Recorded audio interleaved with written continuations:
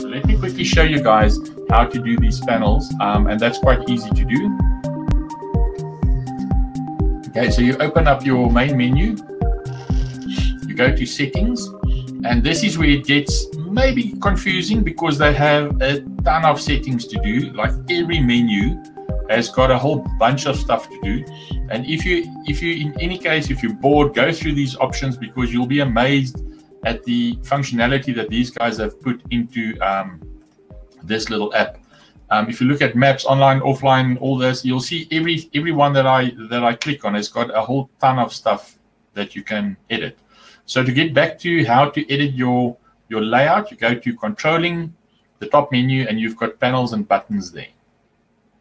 Okay, so you've got the top one, which is set functions, which is obviously um, um, the one we're looking for. But I'm just quickly gonna gonna take you through them. You can also hide your top, bottom, and right panels.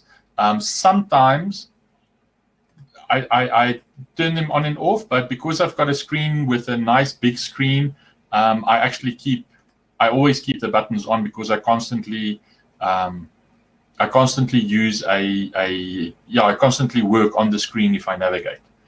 Okay, so let's look at the set the panel functions, and there you go. There you've got your top panel where you can choose what to add on. You've got four options there, and you can add on stuff. And on the right-hand side, so just to give you an indication, just so that you can see GPS, dashboard, editor, dashboard, and settings. If I go back, just have a look here. Those are the ones at the top, GPS, editor, dashboard, and settings um, you'll see instead of going to there and down to settings, I've even set my settings on the top bar. So it's easy for me to get there. So it's quite easy to now edit tracks, routes, interface, everything, um, which is quite great. Okay, let's go back. Panels, set the panels.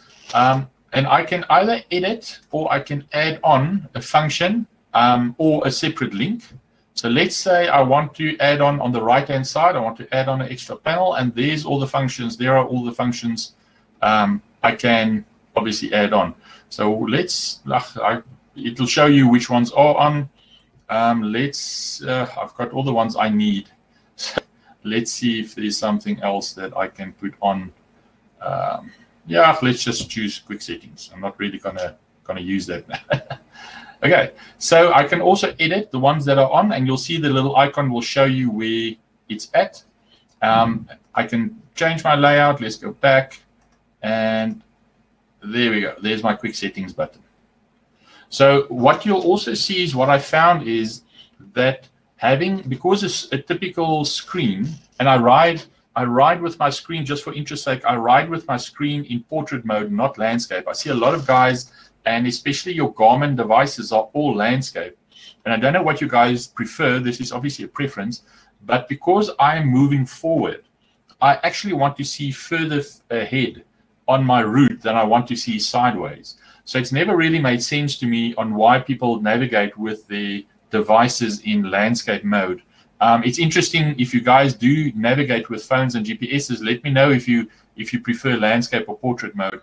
But this portrait mode is, is the way that I'm going because once I navigate, I want to look forward uh, ahead of me. Now, the reason also why I mentioned that is um, that because our screens are long and in portrait mode, you obviously have quite a lot of extra space at the top and the bottom. And because it's narrow, um, there's not a lot of space. I tend to not do buttons on the side. You'll see even my right-hand panel, I only take it up to about two or three um, little settings there. But let me quickly take that one off.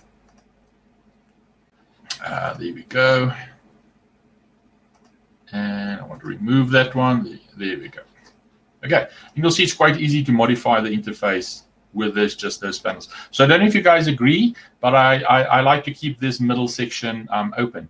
The other reason why I keep it open is um, I see just from my question earlier, um, Pierre Simon, you guys all do portrait. I'm, I'm, I'm glad to see that. I think we probably share the same, the same thinking behind it. The other thing I want to show you guys is apart from the panels, is that Locus has what they call themes. And a theme, um, it's interesting term they use for it, but the themes um, add on different big portions of text. In other words, monitors like like counters.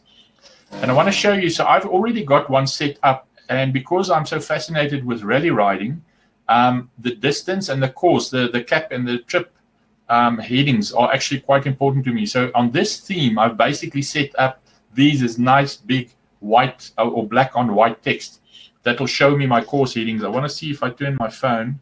Um, it's I'm unfortunately sitting in a building, so we don't really have any GPS here. Um, but I think you can see, so I can turn my my while I'm riding, I turn on all kinds of counters. And this is quite cool because you can also modify this. So the, this is not a panel, this is the theme. Just remember the difference. So panels are top, left, right, and bottom.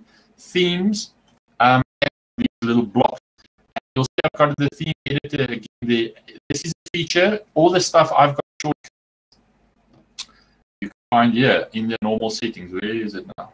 Uh, oh, the dashboard. So the dashboard creates your theme, and this is the editor. I've just done them as shortcuts. So theme editor, and you'll see it comes a couple of themes.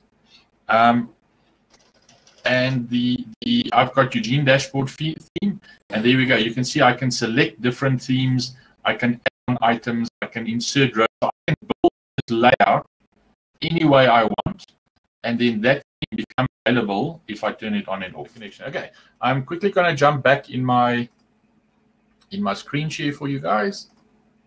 There we go. Okay, and I'm just turning my camera off. There we go. Onto that. So editing the screen is actually um, really straightforward.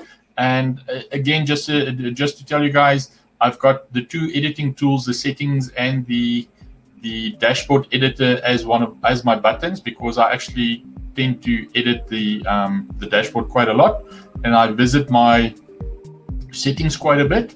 And I've got the other one I've got is my getting access to my tracks and my routes very quickly and my points. And then obviously my recording button, which is um, to record. So you'll see those are literally the main functions and features that I that I do.